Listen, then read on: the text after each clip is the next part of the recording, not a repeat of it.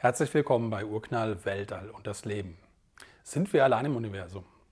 Auf diese spannende Frage hat Professor Dr. Bruno Deiss, äh, der wissenschaftliche Direktor des Physikalischen Vereins in Frankfurt am Main, eine Antwort gefunden, die euch vielleicht gar nicht so gefallen wird. Er war zu Gast beim Planetarium Mannheim und hat dort vorgetragen unter dem Titel Das kopernikanische Prinzip. Viel Spaß dabei.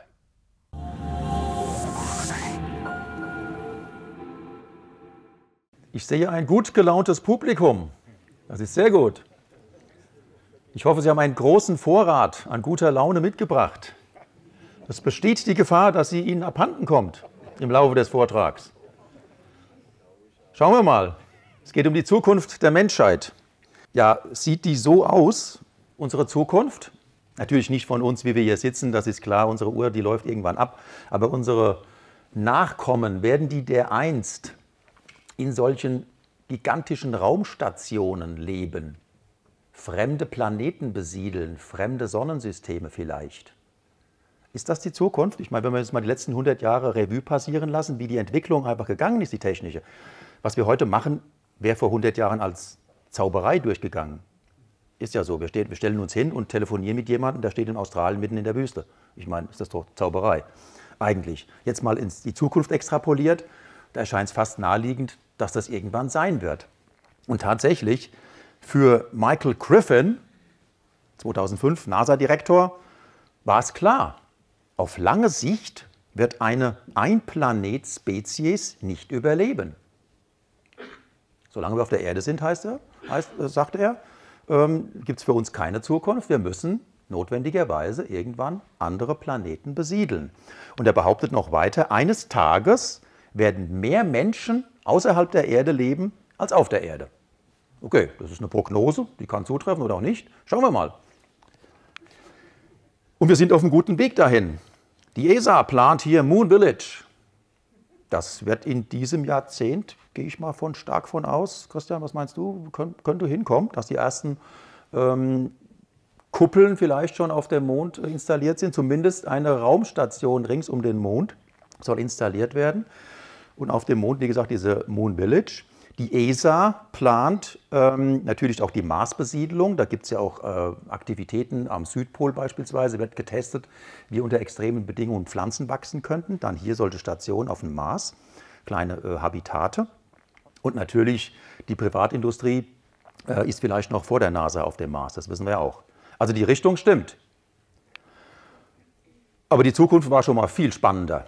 In den 70er Jahren hier den Stanford Torus, ein Ring und das hier unten, das hier, das ist ein riesiger Spiegel, der spiegelt hier quasi die, Sonnen, die Sonnenstrahlen auf Solarzellen und das ist ein riesiger Ring für 10 oder 10.000 bis über 100.000 Bewohner und innen drin sieht es dann so aus.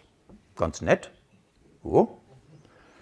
Und man stelle sich nur mal vor, wenn man da geboren würde in so einem Ding, das wäre für einen die Welt. Man würde es nicht anders kennen. Man kann sich schon vorstellen, dass das auch funktionieren könnte. Wenn wir mal ehrlich sind, mit den Smart Homes heutzutage, die Häuser sind energetisch isoliert, schallisoliert, Wärmetausch mit draußen. Eigentlich leben wir ja schon fast auf lauter Raumstationen. Wer geht denn noch draußen durch den Wald? Die paar Hansel. Ja, der Rest lebt ja in Raumstationen schon.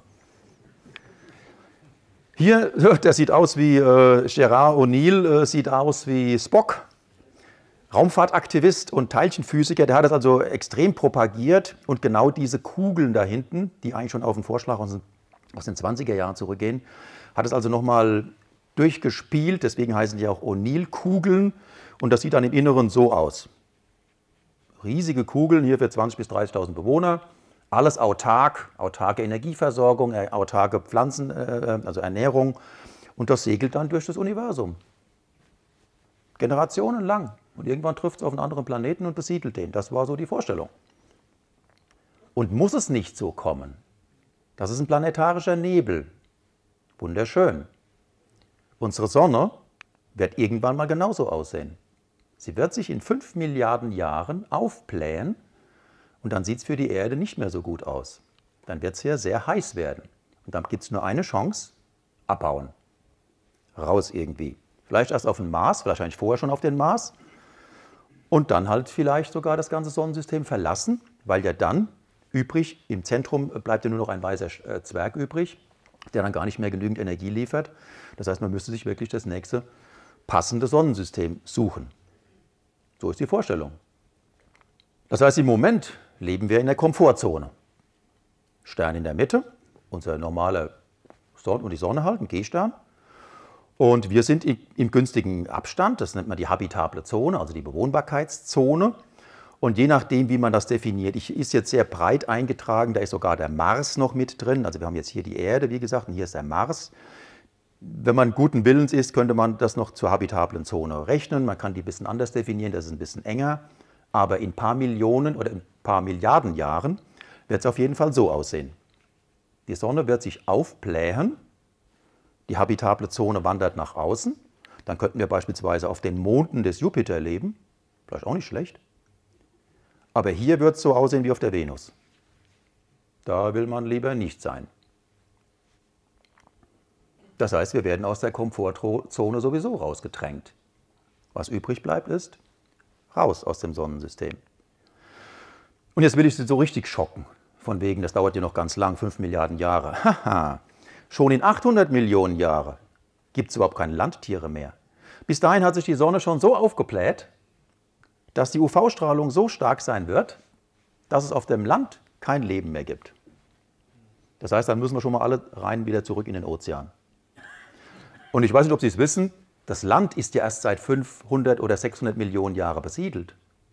Und in 800 Millionen Jahren müssten wir schon wieder zurück. Das heißt, wir leben gerade im Moment in der Mitte der Zeit, wo überhaupt Land bewohnbar ist. In zwei Milliarden Jahren gibt es auch kein Ozean mehr. Ist auch schon weg, verdampft. Und dann dauert es lange, drei Milliarden Jahre, bis das kommt, wo ich vorhin gezeigt hatte, dass die Sonne sich ganz aufbläht. Das heißt, vorher müssen wir schon längst das Weite gesucht haben. Gehen wir mal auf die Arbeitshypothesen der Naturwissenschaften. Wie sieht denn das aus? Die Arbeitshypothese, die Grundhypothese ist, die Naturgesetze gelten im gesamten Kosmos. Davon gehen wir aus. Und das ist eine gute, da sind wir sehr überzeugt davon, dass das klappt. Wir kennen die ganzen äh, Spektren, also von wie Atome strahlen aus dem Labor. Und wir schauen uns das Licht von fernen Sternen an analysieren das genau nach den Kriterien, die wir aus dem Labor entwickelt haben und können feststellen, aha, in dem Stern oder in dem System, da gibt es Kohlenstoff, Sauerstoff, alles das, weil wir ja wissen, wie die Signatur ist, weil wir es aus dem Labor kennen. Drunter liegt die Hypothese, naja, die Physik da draußen, die muss ja dieselbe sein wie hier. Und das klappt wunderbar. Und egal in welche Richtung wir gucken, ähm, das scheint im Universum überall der Fall zu sein und auch in früheren Jahrmilliarden der Fall zu sein. Das heißt, die Naturgesetze nicht, dass wir die alle kennen, aber die gehen davon aus, es gibt Naturgesetze und die gelten im gesamten Universum. Jetzt kommt noch ein weiteres Prinzip hinzu, das Prinzip der Durchschnittlichkeit. Und das ist das kopernikanische Prinzip. Wir selbst, wie wir hier sitzen, oder ich stehe hier vorne, sind kosmischer Durchschnitt. Das heißt, an unserem Ort, wo wir uns befinden, ist nichts Besonderes. Unser Stern ist kein besonderer Stern. Die Zeit, in der wir gerade existieren, ist im Kosmos auch nicht so besonders. Und dass wir überhaupt Lebewesen sind, ist auch nichts Besonderes. Wenn man das durchdenkt, zusammen mit der Kombination, dass die Naturgesetze überall gelten, dann müsste es eigentlich ganz viele von unserer Sorte geben. Wenn das nicht der Fall wäre, dann wären wir was ganz Besonderes. Okay, jeder weiß natürlich, dass er selbst was ganz Besonderes ist, ist ja ganz klar, ja. Aber ähm, im Kosmisch äh, gesehen hat sich bisher bewährt dieses Prinzip. Und es geht zurück auf Kopernikus. Deswegen kopernikanisches Prinzip. Der hat es nicht so formuliert, aber er war der Erste, deswegen der Name wird ihm zugeordnet, der Erste, der sozusagen die Erde von ihrer zentralen, besonderen Position rausgekickt hat und gesagt hat, nein, die Erde ist ein Planet unter Planeten. Sie ist Durchschnitt. Stimmt natürlich nicht ganz, weil im Sonnensystem hat die Erde natürlich schon eine besondere Bewandtnis. Sie ist ja nun mal lebenstragend und so weiter. Aber wenn wir jetzt andere Sonnensysteme uns anschauen, da finden wir andere Planeten und wir gehen streng davon aus, stark davon aus, dass es andere Erden gibt. Schauen wir uns mal ganz kurz das heutige Universum an, also unsere Vorstellung. Wir haben die Sonne im Zentrum, das ist alles nicht maßstabsgerecht, klar. Ähm, wir sind irgendwo auf der dritten Innenbahn und äh, acht Planeten, fünf Zwergplaneten, viele Zwergplaneten haben wir noch nicht entdeckt und tausende von Asteroiden. Und oben steht aber das Wichtigste, die Sonne ist ein normaler Stern vom Typ G, von denen gibt es Milliarden im, in der Milchstraße und hunderte von Milliarden in, ähm, in anderen Milchstraßen, in anderen Galaxien. Also es wäre ein Hinweis, dass wir was Besonderes sind. Wenn unser Stern beispielsweise so ein ganz exotischer wäre, dann hätte man vielleicht die Überlegung, aha, Leben hängt damit zusammen, dass wir einen exotischen Stern haben. Das, nur dann klappt es. Nee, das Gegenteil ist der Fall. Ganz normaler Otto-Normalverbraucherstern und wir existieren. Und das gibt ja schon einen starken Hinweis, dass wir irgendwie wahrscheinlich, höchstwahrscheinlich einfach nur durchschnittlich sind. Äh, nur noch mal so kleine zum Amüsieren, was eigentlich so wirklich Sache im Kosmos ist, äh, wie ein Stern so aussieht, das ist die Sonne und da unten, wenn Sie es überhaupt erkennen können, da sind wir und nehmen uns ganz wichtig und kämpfen um jeden Quadratmeter, insbesondere wenn es um den Vorgarten vom Nachbar geht. Okay, jetzt gibt es Milliarden von Sonnen in der Galaxis, in unserer Milchstraße allein schon. Ich rede jetzt nur mal von unserer eigenen Milchstraße, von anderen Milchstraßen rede ich jetzt nicht mehr allzu viel. Das ist einfach jetzt so eine Nachtaufnahme. Und alle Pünktchen, die wir hier sehen, sind andere Sonnen. Und wir glauben heute und sind sehr überzeugt davon, dass jedes von diesen Pünktchen, jedes von diesen Sternen, von diesen Sonnen, selbst wiederum Planetensysteme hat. Von etlichen Planeten. Und wenn Sie das alles mal hochrechnen, dann, da kommen Sie auf gigantische Zahlen. Die Milchstraße können wir von außen nicht aufnehmen. Deswegen habe ich jetzt einfach mal ein Bild von der, vom Andromeda-Nebel genommen. Das ist unsere nächste Nachbargalaxie. Die sieht so ähnlich aus, ist unsere Vorstellung wie unsere eigene Milchstraße. Und wenn wir jetzt von außen auf unsere Milchstraße blickten, dann wären wir irgendwo so in einem äußeren, sehr lang, äh, langweiligen Ast. Langweile ist gut. Äh, Zentrum ist interessant, explodieren aber alle Schlacht Supernovae ist nicht gut für die Gesundheit. Hier draußen ist Langweile. Langweile heißt Lebensversicherung. Das ist sehr gut. Und da drehen wir uns munter einfach über die Milliarden, Millionen von Jahren einfach immer im Kreis herum. Okay? Und insgesamt haben wir in dieser Sterneninsel 200 Milliarden Sonnen, 200 Milliarden Sterne. Vielleicht sind es auch ein paar mehr oder weniger, bei Kleinigkeiten sind wir großzügig. Und im Moment, wenn Sie auf exoplanet.eu gehen, kriegen Sie immer die Liste. Im Moment sind wir bei 4200 oder sowas angelangt von anderen Exoplaneten. Wir kennen jetzt 4000 andere Planeten. In unserem Sonnensystem gibt es acht und wir kennen 4000 weitere von anderen Sonnensystemen. Und davon sind 130 in ihrer Bewohnbarkeitszone. Wenn man dann genauer hinguckt, stellt man fest, naja, von denen, die jetzt in dieser Bewohnbarkeitszone sind, die ist so definiert, dass dort also potenziell Wasser flüssig wäre. Da könnte es einen flüssigen Ozean geben. Dazu muss natürlich der Planet, der da sitzt, erstmal eine Oberfläche haben und nicht einfach nur ein Gasplanet sein. Da gibt es keinen Ozean. Insofern ist die Aussage, dass, jemand, dass ein Planet in einer habitablen Zone ist, noch nicht der Weisheit letzter Schluss. Da muss noch einiges zusammenkommen. Und hinzu kommt noch, viele von denen, die wir jetzt entdeckt haben, äh, sind kleinere Sterne als die Sonne, Zwergsterne. Dann ist natürlich die Bewohnbarkeitszone näher dran. Es reicht zwar für die Temperatur, aber diese Zwergsterne haben andere unangenehme Eigenschaften, die machen solche Flares und sowas, sodass man doch der Meinung ist, wenn es zu nah an diesem Stern ist, dann kann man zwar definieren, habitable Zone, aber echt lebensförderlich ist dann diese Zone doch nicht. Also ein bisschen ist unser Sonnensystem schon was Eigenes. Ja, es muss schon ein G-Stern höchstwahrscheinlich sein und nicht diese kleineren M-Zwerge, ähm, von denen wir jetzt äh, ganz viele Planeten entdeckt haben. Das hängt aber mit der Beobachtungsmethode zusammen. Das hängt einfach mit der Methode zusammen, wie wir die Exoplaneten im Moment auffinden. Und äh, da finden wir sozusagen vor allem nur diese mickrigen Sterne mit ganz engen äh, umlaufenden Planeten. Das wird sich aber in den nächsten Jahren und Jahrzehnten alles deutlich ändern. Nochmal zurück. 4000 Exoplaneten kennen wir schon, habitable Zone. Selbst wenn man pessimistisch ist, ich gehe nochmal gerade zurück und sagt jetzt, von den 130 ist vielleicht nur eine, wo es wirklich so günstig ist. Ja, aber eins von 4000 und das bei 200 Milliarden Sterne. Wenn Sie da mal ein bisschen multiplizieren quasi im Kopf da, multiplizieren, da kommen Sie auf gigantische Zahlen. wo gewissermaßen Leben möglich ist. Also Sie müssen extrem pessimistisch werden, um äh, die Zahl so runterzurechnen, damit nur eins übrig bleibt, nämlich wir. Naturgesetze gelten im gesamten Kosmos, in der gesamten Milchstraße und wir sind kosmischer Durchschnitt. Unsere Entwicklung, unsere Evolution, unsere biologische geht naturgesetzlich vonstatten, da sind wir überzeugt davon. Und wenn es woanders nur günstig ist, dann sollte es genauso funktionieren. Jo, jetzt kann man ganz optimistisch sein. Und das war man in den 60er Jahren und hatte schon ausgerechnet, dass es ja dann Zehntausende von den da draußen geben müsste und dass die da kreuz und quer funken. Ja, war also der Meinung, wir sind irgendwie Durchschnitt und äh, da draußen muss es ganz viele intelligente Spezies geben. Ja? Und wir sind nur eine von denen. Und wie der geschätzte Kollege Harald Lesch immer sagt, die Außerirdischen sind auch nur Menschen. Also so ähnlich, ja? Sieht man ja. Das ist ja das eine Dokumentaraufnahme hier. naja, nicht wirklich.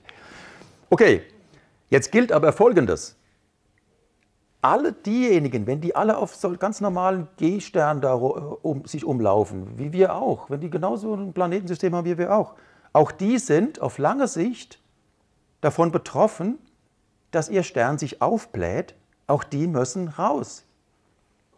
Die müssen Raumkolonisation machen, jedenfalls ihr Planetensystem verlassen. Und natürlich funken sie dann auch immer sich irgendwie hin und her. Das heißt, das Universum müsste eigentlich voll sein von, also die Milchstraße voll sein von irgendwelchen Funksprüchen, wie auch immer. Irgendwelche intelligenten Signale. Und deswegen gab es seit den 60ern riesige Projekte. Es gibt heute noch das SETI-Institut, also SETI heißt Search for Extraterrestrial Intelligence, Suche nach extraterrestrischen Intelligenzen. Und wer den Film Contact nicht gesehen hat, hat er was verpasst. Unbedingt angucken. Judy Foster hier ähm, in der Hauptrolle. Also, wirklich, also ich finde den Film bemerkenswert, auch von der Problematik Glaube und Wissenschaft, also unbedingt angucken. Und in dem Film wird auch, äh, deswegen zeige ich das hier, das äh, Very Large Array in New Mexico äh, verwendet. Das wurde auch mal für eins von diesen SETI-Projekten verwendet, jetzt in der Zwischenzeit nicht mehr so. Ähm, das SETI-Institut wird privat finanziert, weil die staatliche Finanzierung, die wollen sich damit nicht abgeben. Das ist gewissermaßen ein bisschen als unseriös. Aber die Idee existiert ja weiter.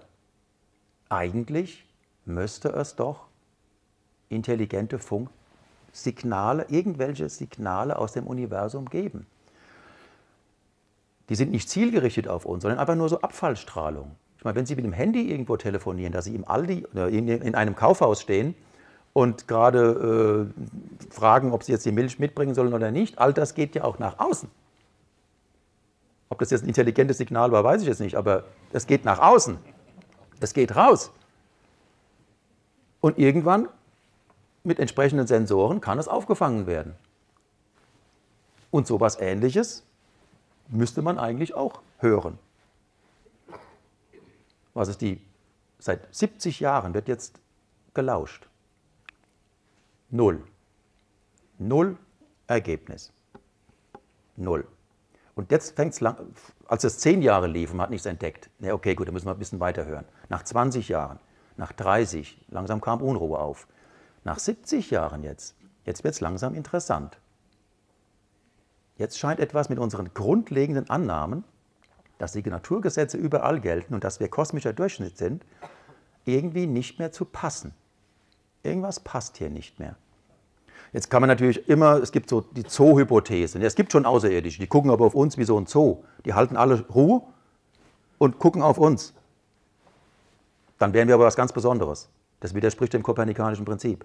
Dann wären wir die Zootiere und alle anderen wären ganz intelligent. Höchstwahrscheinlich nein. Hinzu kommt noch das Fermi-Paradoxon. Äh, Enrico Fermi ist eigentlich ein extrem, also ein Kernphysiker und Entwickler der Quantenphysik. Der, jeder, der Physik studiert, äh, kennt ihn natürlich. Und der hat äh, angeblich bei einem Gespräch in der Mensa die, aber die Frage sozusagen bei seinen Kommilitonen oder sowas gestellt, wenn die Milchstraße tatsächlich angefüllt ist mit diesen extraterrestrischen Intelligenzen, und die schon seit Millionen oder gar Milliarden Jahren existieren, also Vorsprung haben. Wo sind sie? Wo sind die Raumstationen? Oder wo sind vielleicht die, Raum, die automatischen Raumsonden? Die müssen ja nicht selber fliegen, die können ja einfach ganze Roboter-Armadas ins Universum schicken und fremde Planeten ausbeuten. Man, unser, unsere Erde hat viel zu bieten an, an, an, an Mitteln, an, an seltenen Erden und sowas, an Rohstoffen. Also optimal eigentlich zum Ausbeuten. Warum findet mir hier nicht irgendwelche Robotersonden, die diesen Planeten schon längst leer gefressen haben? Wir besorgen es gerade im Moment selbst, aber ja. So, da gibt es zwei Lösungen. Es gibt noch ganz viele, aber stellt zwei Lösungen her. Naja, weil wir etwas Besonderes sind, beobachten wir keine extraterrestrischen Intelligenzen. Weil wir nichts Besonderes sind, beobachten wir keine extraterrestrischen Intelligenzen. Das ist die zweite Lösung. Hm, wie soll das zusammenpassen? Nehmen wir mal Lösung 1. Die wird insbesondere auch vom geschätzten Kollegen Harald Lesch gerne propagiert.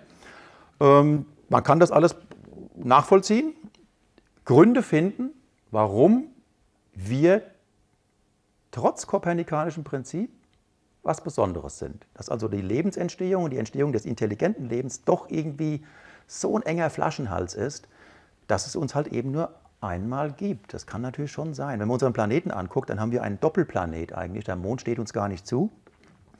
Ähm, wir haben einen viel zu großen Mond im Verhältnis zum Planeten. Und dieser Doppelplanet, dieser Mond führt dazu, dass die Erde überhaupt stabile, eine stabile Achse hat. Wäre der Mond nicht, würden die Störungen der anderen Planeten dazu führen, dass unsere Erdachse immer mal so 90 Grad abkippt und wir würden quasi auf der Seite liegen. Das gäbe eine totale Klimaänderung, stabiles, man braucht wieder Langweile. Ne? Also Intelligenzentwicklung braucht auch Ruhe und Langweile und das ist gut, ähm, denn bei solchen chaotischen Zuständen kann man sich kaum vorstellen, dass aus niederem Leben sich irgendwann mal wirklich höheres Leben entwickeln könnte. Da fehlt aber die Stabilität. Plattentektonik ist ganz wichtig wahrscheinlich das Elementarste, damit überhaupt die Evolution so möglich war, wie wir sie, die biologische Evolution, wie wir sie kennen. Die Venus ist genauso groß wie die Erde, hat aber keine Plattentektonik. Dort gibt es auch Platten, die sind aber derart was von verhakt, die können nicht untertauchen. Bei uns ist ja so, eine Platte taucht unter die andere unter. Wie funktioniert das? Naja, weil uns einfach Kruste fehlt. Das Besondere an unserem Planeten ist ja gar nicht, dass es Wasser gibt sondern dass es trockenes Land noch gibt, zusätzlich. Trockenes Land plus Wasser ist die Kunst. Das heißt, es muss ein Teil von der Erdkruste weg, damit es Platten gibt, die jetzt sich gegenseitig verschieben können. Und die Idee ist ja, der Mond ist ja aus einer gigantischen Kollision entstanden, äh, die quasi die Erdkruste abgehobelt hat. Das heißt, unsere Erdkruste schwebt gerade in 300.000 Kilometer über uns, genannt Mond. Stimmt nicht ganz, da muss noch ein bisschen was dazukommen, aber so vom äh, Groben her würde das wunderbar passen. Sodass jetzt auf der Erde ein großer Thermostat sich entwickeln kann, durch diese Tatsache, dass einige Platten auf, auf den Meeresboden senkt sich, äh, es sackt ja Kalk ab. Diese ganzen Krustentiere lagern Kalk ein, fallen runter und unten bildet sich Kalkablagerungen. Das heißt, CO2 aus der Luft wird im, auf dem Meeresboden gelagert. Anschließend kann aber wiederum eine Meeresplatte untertauchen in die Tiefe des, des, der Erdkruste, wird aufgeschmolzen und dann kommt das CO2 über die Vulkane wieder raus. Ein gigantischer Regelkreislauf, der dazu führt, so die Idee, dass das Klima auf dieser Erde vier Milliarden Jahre mehr oder weniger konstant ist. Super. Das ist schon selten, höchstwahrscheinlich. Das andere ist, mag ja sein, dass es Leben irgendwo gibt. Grüner Schleim überall. Und auf der Erde muss man sich überlegen, drei Milliarden Jahre lang gab es nur Einzeller. Und erst dann gab es Mehrzeller. Erst seit kurzem eigentlich. Und dann ganz schnell uns. Und bis es uns gibt, muss noch was zusammenkommen, nämlich nicht nur Intelligenz, sondern Intelligenz und auch noch körperliche Geschicklichkeit. Dass wir so eine Hand haben, die was greifen kann, ist ganz entscheidend. Es nutzt nichts, wenn wir im Wasser leben, sind ganz intelligent, haben aber Flossen und können nicht wirklich was anpacken. Insofern, diese Kombination ist auch ein, ein Flaschenhals. All das führt zusammen zu der Lösung, aha, wir sind die erste, vielleicht sogar die einzige, fortgeschrittene technische Zivilisation in der Milchstraße. Diese Lösung würde alles wunderbar erklären. Ist aber mit dem kopernikanischen Prinzip im Widerspruch. Das muss man sich einfach klar machen. So, wenn Sie jetzt nicht weiter Ihre gute Laune strapazieren wollen, dann wäre der Vortrag jetzt bei Ihnen beendet. Denn jetzt wird es nicht so schön. Vielleicht. Nachher habe ich ein Trostpflaster. Wir sind kosmischer Durchschnitt. Es gibt ganz viele extraterrestrische Intelligenzen. Da gibt es Möglichkeiten. Entweder gibt es die wirklich gleichzeitig, dann müsste man aber erläutern, warum wir keine Funksprüche hören. Oder es gab schon ganz viele in der Weise, da gibt es mal da eins kurzlebig, dann da eins, dann da eins und jetzt sind wir halt gerade dran. Das ist das andere. Aber wir sind da auch in diesem Sinne einfach nur Durchschnitt. Und das hat versucht Richard Gott der Dritte auf den Punkt zu bringen.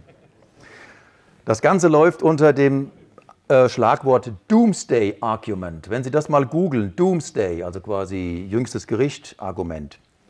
Da gibt es ganz viele dafür und da wieder. Ich stelle es Ihnen einfach vor, Sie wundern sich nur, was man alles machen kann. Ähm, nachher können wir das mal kurz diskutieren, ob das wirklich so, ob man es so machen kann.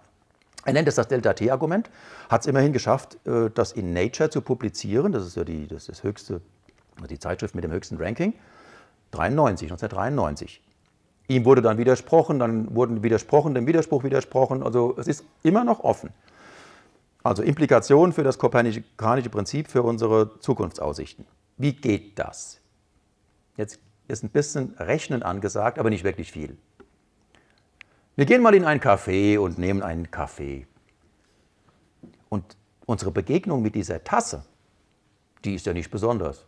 Wir kennen diese Tasse nicht. Die wird uns einfach serviert. Eine Begegnung der nicht besonderen Art. Unser Zusammentreffen mit dieser Tasse ist also rein zufällig. Okay, können wir akzeptieren. Dass die Tasse nicht ewig lebt, ich glaube, das ist auch klar. Nichts lebt ewig. Die Tasse hat irgendeine endliche Lebensdauer.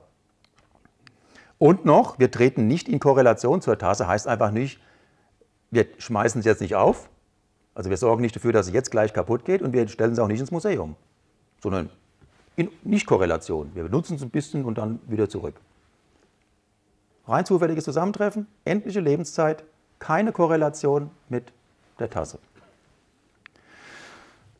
Jetzt ein bisschen Gehirnschmalz investieren. Das wäre die Lebensdauer dieser Tasse. Die kennen wir natürlich nicht. Wissen wir ja nicht. Aber irgendwo ist sie mal begrenzt. Das, ist, das steht mal ganz fest. Unendlich wird die nicht existieren.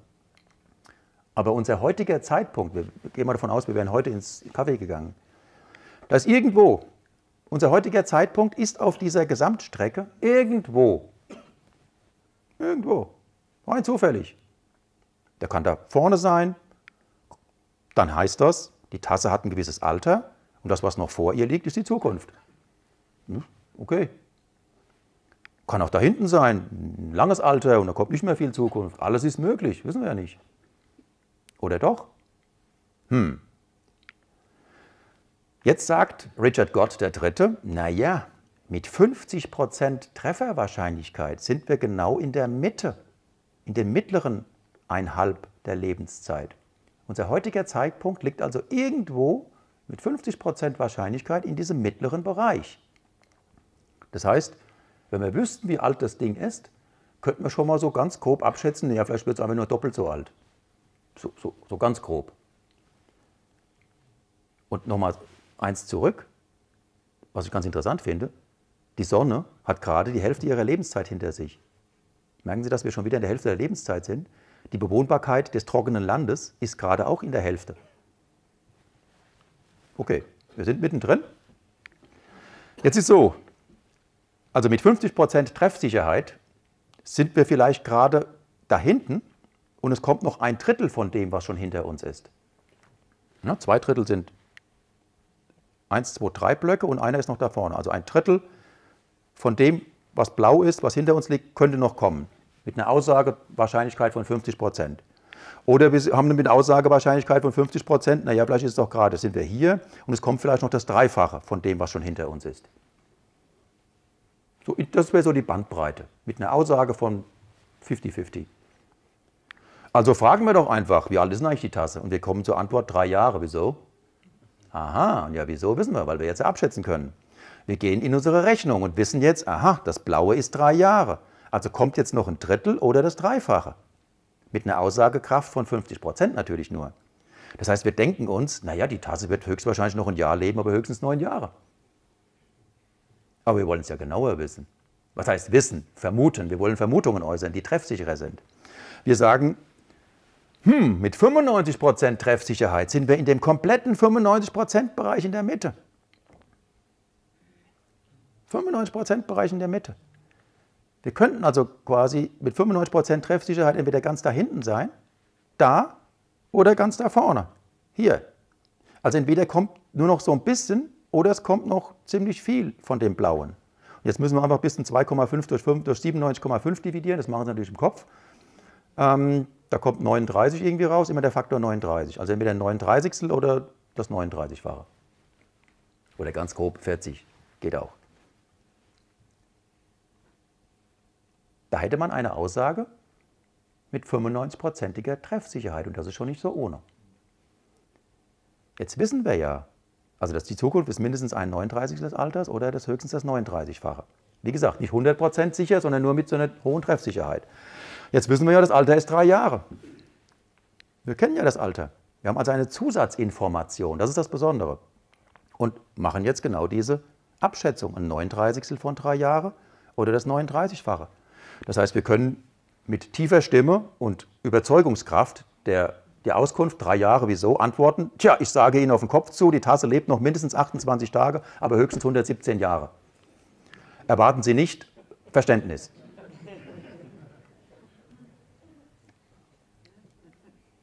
Die Zahlen sind natürlich gaga, wie man so schön sagt. Aber sind sie falsch?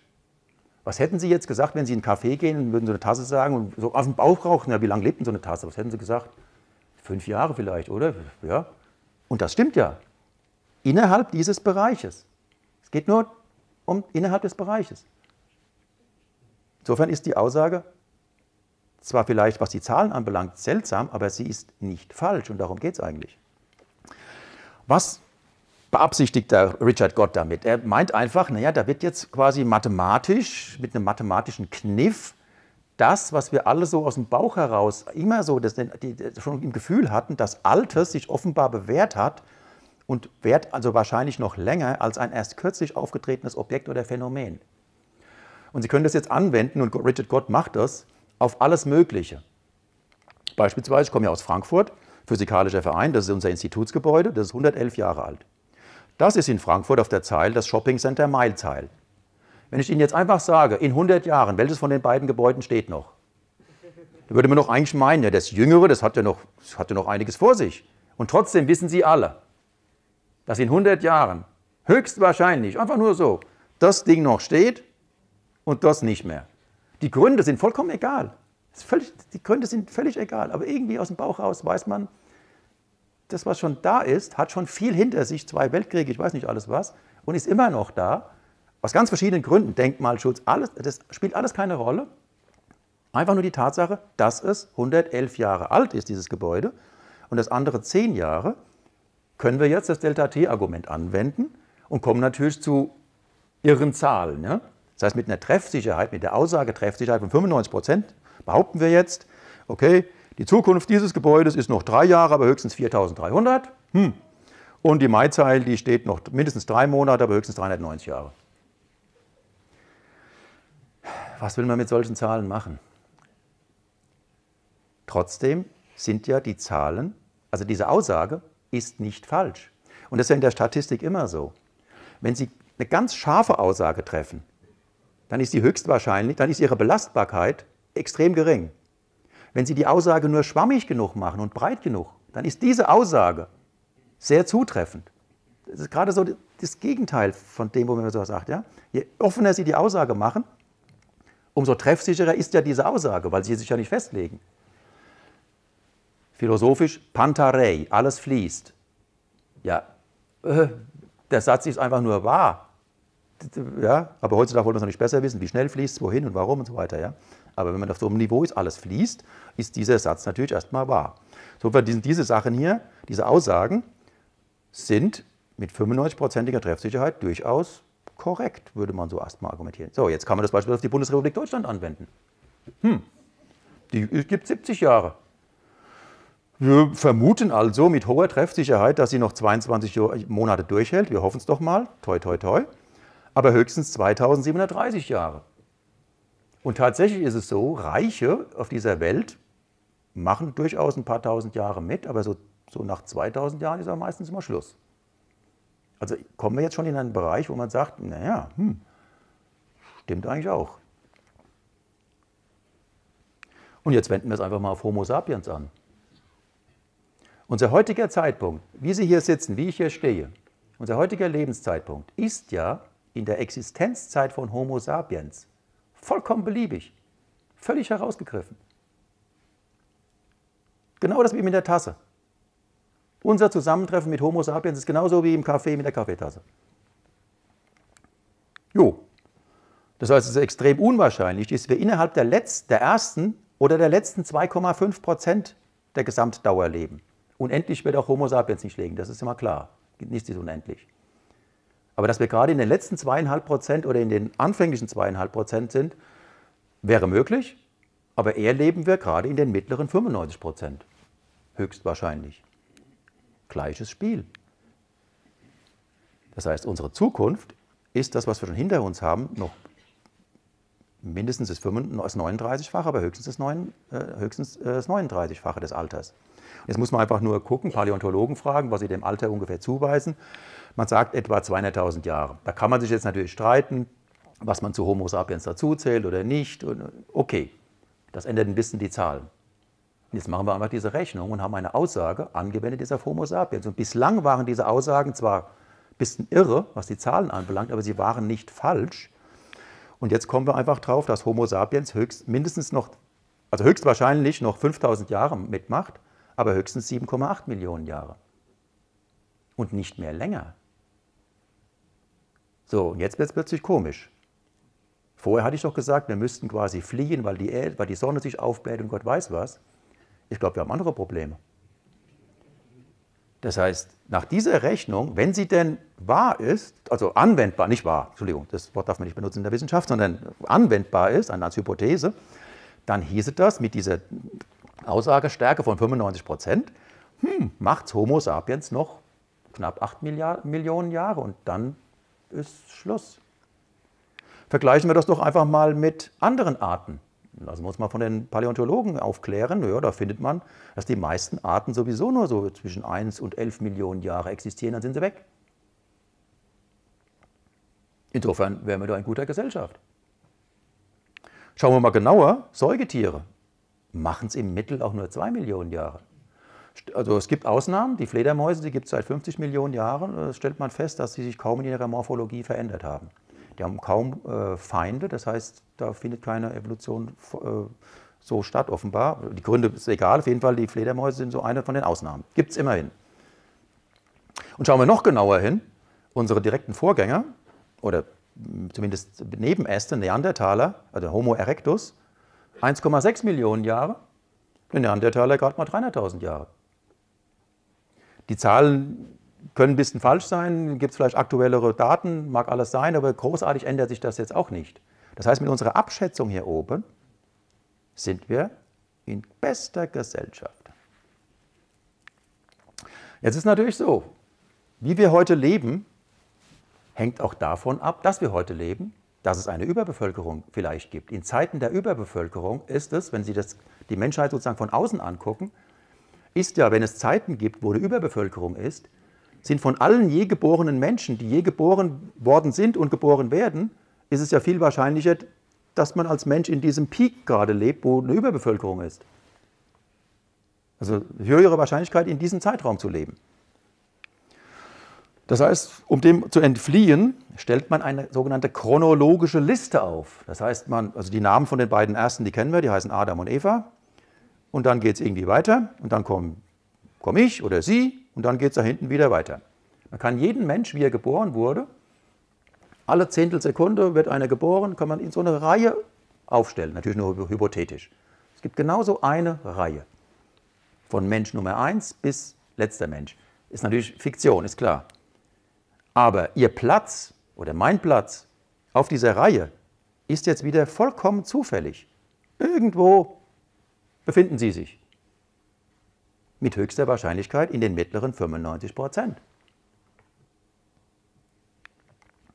Kopernikanisches Prinzip sagt, meine Position auf der Liste ist wieder rein zufällig und ich bin irgendwo in den mittleren 95 Prozent. Und wenn das wieder stimmt, heißt das, alle, die vor mir sind und alle, die nach mir kommen, stehen wieder in diesem Verhältnis 1 zu 39 oder das mal 39-fache.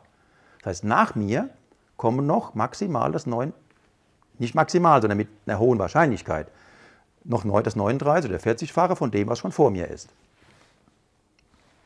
Das kann auch, bisschen, kann auch anders kommen, ist klar, aber es geht um die Aussagekraft. Jetzt muss man wissen, wie viel waren denn vor mir? Das wird heutzutage, macht das das Population Reference Bureau, habe ich gerade nachgeguckt, 2019 haben die eine neue Zahl, also Populationsmodelle der Vergangenheit gerechnet und kommen darauf, dass im, äh, geht man heute aus, dass schon 108 Milliarden geboren wurden. 108 Milliarden wurden vor uns, also vor Ihnen quasi schon geboren. Viele davon leben nur ein paar Tage, das ist halt eben so, Kindersterblichkeit war früher sehr hoch. Ähm, all das zählt trotzdem mit rein. Einfach 108 Milliarden wurden schon geboren. So, Rechenexempel, mal 39 durch 39. Okay, es werden noch höchstwahrscheinlich noch 2,7 Milliarden geboren und noch höchstens 4.200 Milliarden. Also 4 Billionen. Das ist ein Haufen Holz. Das heißt, die Frage ist, wie lange dauert denn das? Wie lange dauert das, bis 4.200 Milliarden geboren werden? Das hängt natürlich davon ab, wie viel pro Jahr beispielsweise geboren werden.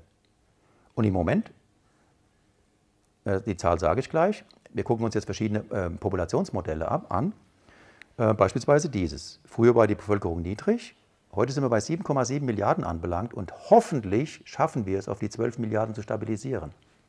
Hoffentlich, mehr schafft der Planet nicht. Es knarzt eh schon bei 7,7. Ja? So. Derzeit, kann man auch sich von dem Büro sagen lassen, werden 150 Millionen äh, Menschen pro Jahr geboren. Jetzt einfach Taschenrechner nehmen und ausrechnen, wenn diese Population weiterhin so läuft, also die Geburtenrate, wie lange dauert es, bis 4200 Milliarden abgefrühstückt sind? 28.000 Jahre. Mehr nicht.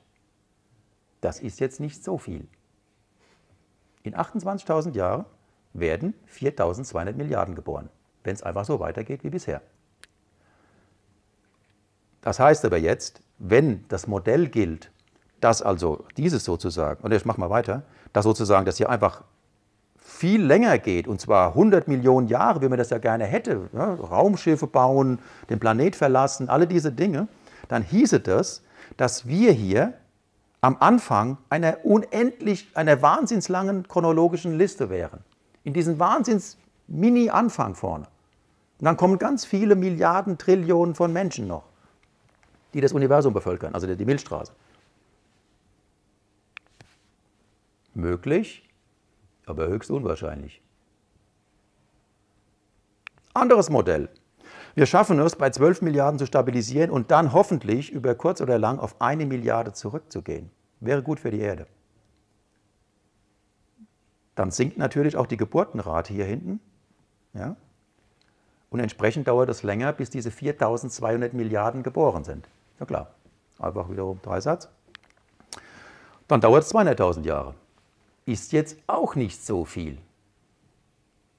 Vorhin hatten wir gesagt, dieses Zeitlimit, der sagt eigentlich, dass nach 8 Millionen Schluss wäre. Das Populationsmodell sagt aber schon, pff, eigentlich ist schon viel früher, passt es nicht.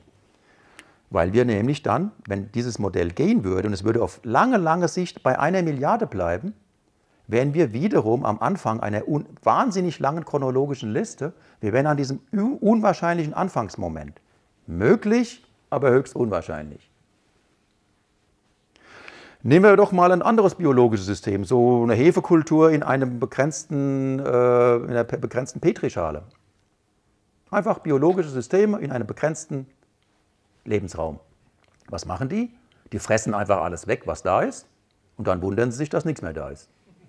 Entsprechend geht es hier hoch, exponentielles Wachstum, und dann geht es hinten wieder, Karacho wieder runter. Das ist normal in der Biologie. Hm. Und schauen wir uns das Bevölkerungswachstum der Erde an. Im Moment haben wir 7,7 äh, Milliarden. Bei 12, das ist jetzt hier von 2017, das World Population Prospects. Ähm, da geht es das Lilane hier stabilisiert sich bei 11 Milliarden, also diese 11, 12 von eben. 16 Milliarden werden hier bis zum Ende des Jahrhunderts erreicht. Übrigens hier hinten, die Zukunft geht weiter. Ne? Es hört nicht hier bei 2100 auf. da kommt noch was. Und hier oben steht Constant äh, Variante, Konstante. Das heißt, wenn es einfach so weitergeht wie bisher, sind wir Ende des Jahrhunderts bei 26 Milliarden. Hm, das wird spannend. Das heißt, es muss sich einfach, wenn man diese Zahlen sieht, kann es einfach so nicht weitergehen. Es muss sich auf jeden Fall was ändern. Und zwar drastischst. Was? Ich weiß es jetzt auch nicht. Ich sage einfach nur, wenn man diese Zahlen sieht. Denn sonst geht es so. Hoch bis vielleicht 20 Milliarden, weiß man es. Und dann geht es rapide abwärts. Und vielleicht stabilisiert sich dann wieder so wie vorher in der Steinzeit, so bei etwa einer Million. Ja, könnte sein. Weil wir Durchschnitt sind, was alle Lebewesen auf diesem Planeten anbelangt. Auch das. Die Behauptung, dass unsere Intelligenz irgendwie was Besonderes sei, ist ja noch eine gewagte Behauptung. Alle anderen Tiere sind ja genauso an ihren Lebensraum angepasst, sind aber auch einfach ausgestorben. Insofern die, die Behauptung, dass unsere Intelligenz da irgendetwas reißen würde, pff, warten wir es mal ab. Eher ist es so, dass wir Durchschnitt sind und uns diese Intelligenz gar nichts bringt und wir uns so verhalten wie alle anderen biologischen Systeme in begrenzten Ressourcen, hoch und dann runter. Wie sieht das aus? Das heißt, das Modell, was am besten zusammenpasst von den Daten, ist, die längste Zeit gibt es eine Steinzeitpopulation für Homo sapiens und nur für eine ganz kurze Zeit gibt es eine technische Zivilisation. Und dann wundert es einen auch nicht, dass Sie, hier, die blaue Person, in diesem Zeitraum leben. Ihre heutige Existenz ist nicht verwunderlich, weil hier vorne kommt nicht viel, da hinten ist nicht viel. Alle Menschen, die je geboren werden, werden in diesem Zeitraum geboren. Okay, das heißt, dieses Modell passt am besten zu dieser Dauerüberlegung, dass es sowieso höchstens 8 Millionen Jahre ist und zu der chronologischen Liste, dass höchstwahrscheinlich in diesen 8 Millionen Jahren noch höchstens 4200 Milliarden geboren werden. Das klappt aber nur, wenn so eine Verteilung ist und dann kommt wieder lange Zeit nichts mehr. Also nur noch wenig. Dann passt es am besten. So, das, das heißt einfach, wir verhalten uns trotz unserer Intelligenz genauso wie unsere Vorgänger. Die haben es auch nur höchstens zwei Millionen Jahre gemacht. Das heißt, Homo sapiens wird vielleicht zwei Millionen Jahre existieren. Möglich. Die meiste Zeit ist es eine niedrige Population, so vielleicht von einer Million. Und in diesen zwei Millionen, drei Millionen, wie auch immer, vielleicht auch acht Millionen, gibt es irgendwo zufällig verteilt wiederum einen Peak. Das nennen wir technische Zivilisation. Mit hoher Bevölkerungszahl, in der die allermeisten Individuen, die je geboren werden, geboren werden. Ich merke, wie Ihre Laune langsam runtergeht. Schön. Raumkolonisation durch Homo sapiens. Also, wie war das nochmal von dem Herrn Griffith? Es werden viel mehr Menschen mal je außerhalb leben als auf der Erde. Wenn wir Raumkolonisation machen, hieße das ja, wir müssten unsere Population extrem erhöhen. Nicht nur so 10, 20 Raumfahrer da rausschicken, sondern echt Bevölkerung rausschicken und uns dann da vermehren. Das heißt, es gäbe dann zum Schluss mehr Menschen außerhalb als auf der Erde. Das hieße aber fürs Gesamte gesehen, wenn man sozusagen die Gesamtgeschichte der Menschheit anguckt, hieße das ja, dass es viel wahrscheinlicher wäre, auf einer Raumstation zu leben. Für uns. Sozusagen im Nachhinein geguckt, Homo sapiens vor sich, wenn fast alle Homo sapiens mal künftig in Raumstationen leben, sind wir die absoluten Trottel, die noch auf ihrem Planeten hocken. Mit der höchst unwahrscheinlichen Anfangssituation, weil ja die allermeisten Homo sapiens dann den Raum kolonisiert haben. Das hat er behauptet. Eines Tages werden mehr Menschen außerhalb der Erde leben als auf der Erde. Das hieße aber, die chronologische Liste heißt, wir sind total an diesem Anfangsmoment und dann kommt eine Wahnsinnsliste von Trillionen von Menschen dann noch. Möglich, höchst unwahrscheinlich. Es wäre was ganz anderes, wenn wir jetzt wirklich sagen wir, schon tausend oder mehrere tausend Jahre auf eine Raumfahrtgeschichte zurückblickten. Wir haben gerade mal geschafft, 20, wie viel waren es, 20 Leute auf den Mond zu schaffen oder was, und jetzt seitdem ja nichts mehr.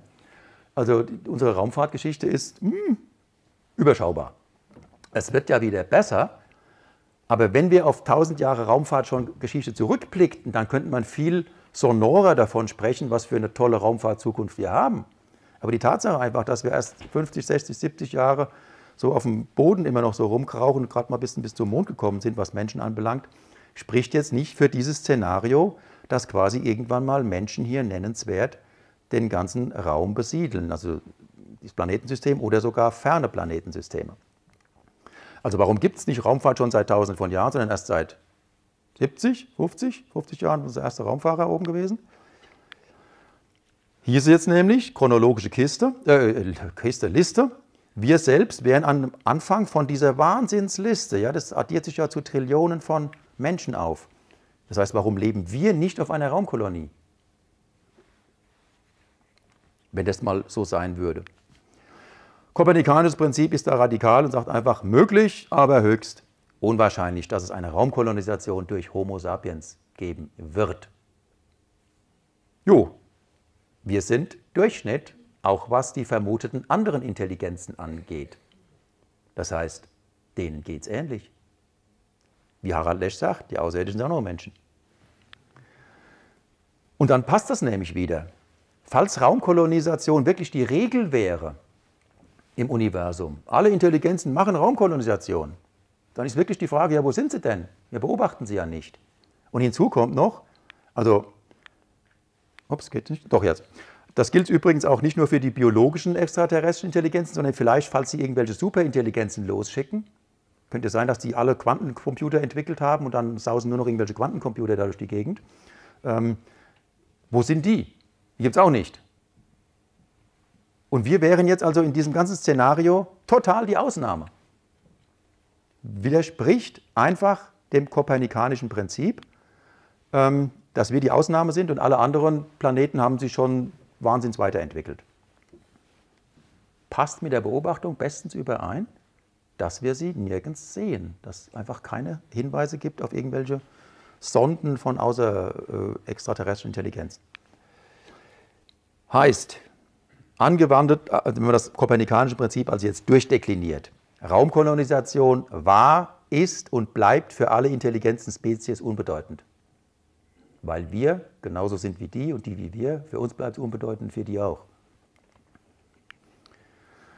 Und auf die Frage, wo sind sie, die extraterrestrischen Intelligenzen, entweder also per Raumkolonisation, per, per Raumschiffe oder sowas, oder halt eben als per Funkspruch, zwischen diesen, die es ja dann auch nicht gibt, äh, kann man einfach nur sagen, die hocken daheim auf ihrem Heimatplaneten, so wie wir. Das heißt, wenn es die gibt, dann sitzen die genauso einfach nur da, haben ein Energieproblem und funken nicht einfach nur wild in den Weltraum raus. Warum sollten sie das tun? Wir tun es nämlich auch nicht, außer so ein bisschen Abfallstrahlung. Ähm, jo, und da bleiben sie auch, so wie wir. Das heißt, alle sind nach diesem Prinzip, wenn man das annimmt, Systeme, biologische Systeme mit begrenzten Ressourcen und die höchstwahrscheinlich alle diesem Verlauf folgen. Irgendwann mal im Laufe ihrer Existenz eine technische Zivilisation. Insofern sind wir dann auch gerade Durchschnitt, aber dann ist auch wieder gut. Das klingt jetzt alles nicht sehr verlockend für heute Abend. Gibt es denn irgendwie eine Überwindung des Delta-T-Arguments? Ich habe ein paar Trostpflaster für Sie parat. Das erste ist, es gibt ja so einen Spruch, Gott schuf den Professor und der Teufel seinen Kollegen. Heißt, das ist einfach falsch. Da gibt es welche, die sagen einfach, vergiss es, das ist falsch, kann man nicht anwenden, darf man gar nicht anwenden auf Homo sapiens. Aber da muss ich Ihnen leider muss ich Sie enttäuschen. Äh, die Paper gibt es. Es gibt halt eben andere, die sagen, nee, was ihr da behauptet, ist schon wieder falsch. Also es, geht nämlich doch irgendwie. Vielleicht ist die, die, die, die äh, Interpretation von Richard Gott III. vielleicht muss man ein bisschen umdefinieren, aber im Wesentlichen stimmt die Aussage doch. Das Ganze können Sie nachlesen unter dem Doomsday Argument. Wenn Sie das einfach mal googeln, kriegen Sie Zeitschriften, Artikel und alles Mögliche. Also es ist interessant, mal sich da reinzufuchsen, wer Wissen mit Statistik äh, handhaben will. Es geht um bedingte Wahrscheinlichkeiten. Darf man denn eigentlich sich selbst als zufällig aus einem Ensemble herausgegriffen denken? Ist das überhaupt statistisch zulässig? Ähm, und, und diese Fragen werden da diskutiert. Insofern gibt es Argumente für und wider dieses. Also wenn Sie jetzt einfach rausgehen wollen und sagen, es besteht die Möglichkeit, dass es einfach nur falsch ist und ich lebe glücklich bis zu, meiner Ende, bis zu meinem Ende. Schön für Sie. Ähm, aber das andere wäre halt eben auch möglich. Das heißt, dass die Aussagen, die ich jetzt hier getroffen habe, haben die Chance, richtig zu sein. Nur, was ist eigentlich das schärfste Schwert bei einer Hypothese? Nicht eine andere Theorie oder eine andere Rechnung, sondern das Experiment. Wir müssen einfach nicht aussterben in acht Millionen Jahren.